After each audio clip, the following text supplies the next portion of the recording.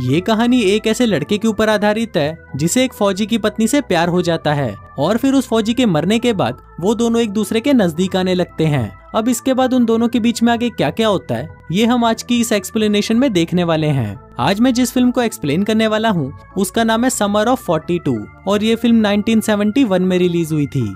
Movie की शुरुआत में हम हरमन नाम के एक लड़के को देखते हैं, जो कि अपने दो दोस्त पाइथन पेनिस और गंड फकीर के साथ बीच पर खेल रहा होता है। इसी दौरान उनकी नज़र एक सिपाही पर पड़ती है, जो कि अपनी पत्नी पनौती के साथ एक घर में रहता था। फिर जब हरमन पनौती को देखता है तो वो एक बावली गांड की तरह उसके प्यार में पागल हो जाता है। वो उसके पति की जगह खुद को इमेजिन करने लगता है, जो कि पनौती की दबा कर ले रहा है। और उस दिन के बाद से वो हर वक्त सिर्फ़ पनौती के बारे में ही सोचता रहता है। फिर एक दिन वो पनौती को फिर से देखता है, जो कि अपने पति को गुड बाय बोलने आई थी, क्योंकि उसका पति वॉर में लड़ने जा रहा था। अब ये देखकर हरमन और भी ज़्यादा खुश हो जाता है, क्योंकि अब पनौती पूरी तरह अकेली थी और उसके पास सिर्फ़ यही मौका था उसके साथ गचागच करने का। इसके बाद हम देखते हैं कि इन तीनों चूतियों के अंदर हवस की आग भड़कती जा रही थी और ये तीनों जल्दी से जल्दी बड़े होना चाहते थे, ताकि वो किसी की प्यारी सी तितली को चमकादड़ बना सकें। इसलिए गंड फकीर अपने घर से एक गचागच की किताब चुरा कर लाता था, जिसको पढ़कर वो तीनों रोज अपनी हाथ गाड़ी चलाया करते थे।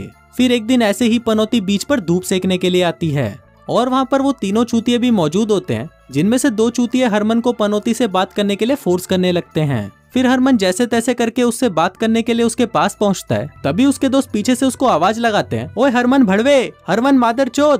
जिसको सुनकर हरमन घबरा जाता है और अपनी गांड उठाकर वहाँ से भाग जाता है। अब हरमन अपने दोस्तों के इस मज़ाक से खुश नहीं था, जिस वजह से उसके और पाइथन पैनिस के बीच लड़ाई हो जाती है। अब देखते ही देखते उन दोनों की लड़ाई बढ़ जाती है, जिस वजह से पाइथन पेनिस और गंड फकीर हरमन को वहीं छोड़कर वहाँ से चले जाते हैं। फिर शाम को जब हरमन बाज़ार में भटक रहा होता है, तभी वो वहाँ पर पनौती को देखता है, जिसको सामान उठाने में प्रॉब्लम हो रही थी। अब मौका पाकर हरमन पनौती के पास जाता है और उसकी मदद करता है। फिर वो उसका सामान उठाकर उसके घर तक ले जाता है, जहाँ पर पनौती उसे थैंक यू बोलने के लिए उसके लिए कॉफ़ी बनाती है। इसके बाद वो हरमन से उसके बारे में पूछने लगती है, जिस पर वो बताता है कि मैं स्कूल के बाद आर्मी ज्वाइन करूँगा।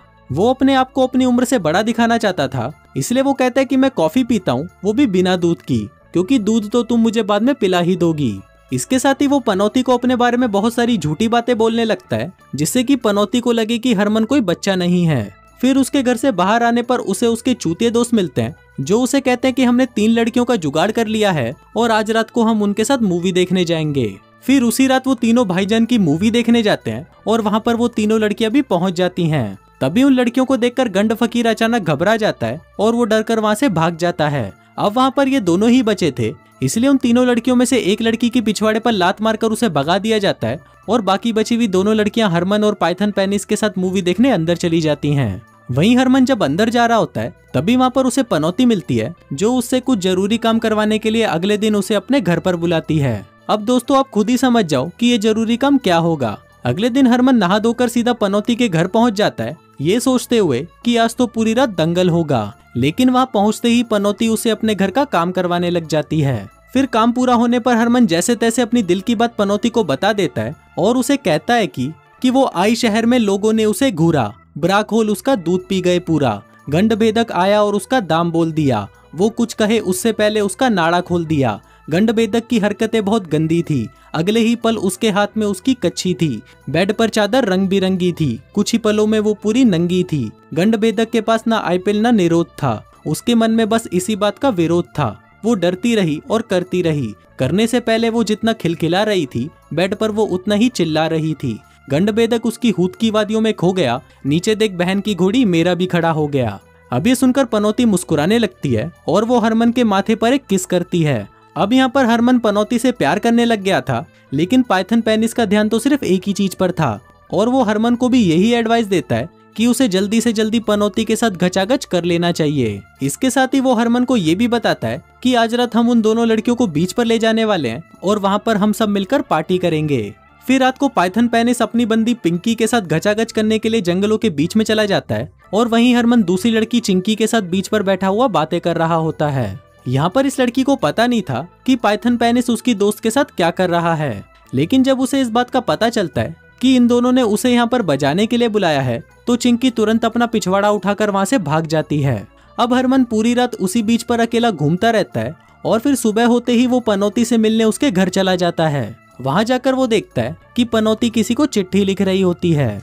हरमन उससे पूछता है कि अगर आज रात को मैं तुम्हारे घर पर आऊँ तो तुम्हें कोई प्रॉब्लम तो नहीं होगी, जिस पर पनौती बोलती है कि नहीं, बल्कि मुझे तो अच्छा लगेगा कि तुम मुझसे मिलने आओगे।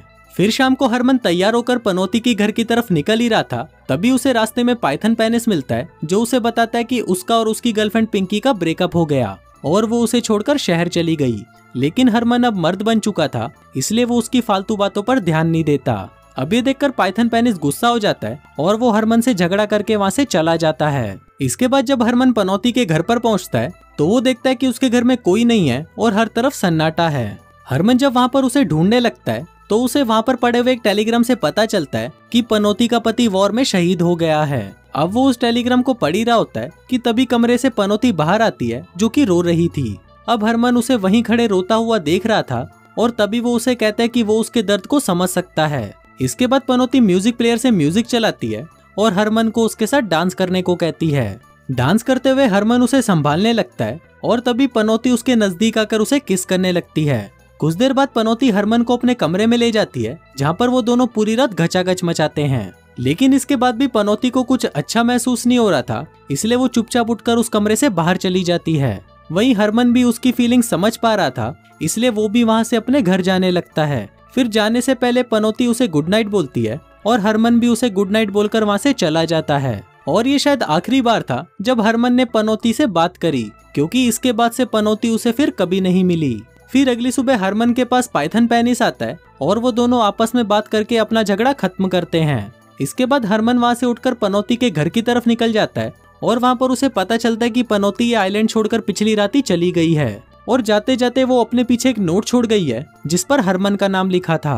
फिर हरमन उस नोट को लेकर वहीं बैठ जाता है और उसे पढ़ने लगता है। उसमें पनौती ने लिखा था कि उसे ये आइलैंड छोड़कर अपने घर जाना पड़ेगा, क्योंकि अब उसे बहुत से अधूरे काम पूरे करने हैं। साथ ही उसने ये भी लिखा कि उसे उम्मीद है कि वो उन दोनों के बीच में हुई उन चीज़ों को समझेगा और उन्हें गलत नहीं मानेगा। वो हरमन को हमेशा याद रखेगी और उम्मीद करती है कि वो भी हमेशा खुश रहेगा। अब ये बातें पढ़कर हरमन उस दिन के बाद से हमेशा ही पनौती को याद करता था। और उस दिन के बाद से उसने पनौती को कभी नहीं देखा और ना ही उसे उसकी कोई खबर मिली। अब उसके साथ हुए इस इंसिडेंट ने उसे हमेशा के लिए बदल दिया था और अब वो एक लड़के से एक मिच्योर इंसान बन चुका था। और इसी के साथ ही ये फ़िल्म यहीं खत्म हो जाती है। तो दोस्तों, आपको ये एक्सप्लेनेशन कैसी लगी? मुझे नीचे कमेंट करके ज़रूर बताना। और अगर आप ऐसे ही और वीडियोस देखना चाहते हैं तो इस वीडियो को लाइक करके मेरे चैनल को सब्सक्राइब ज़रूर करना। मैं मिलता हूँ आपसे अगले वीडियो में। तब तक के लिए बाय।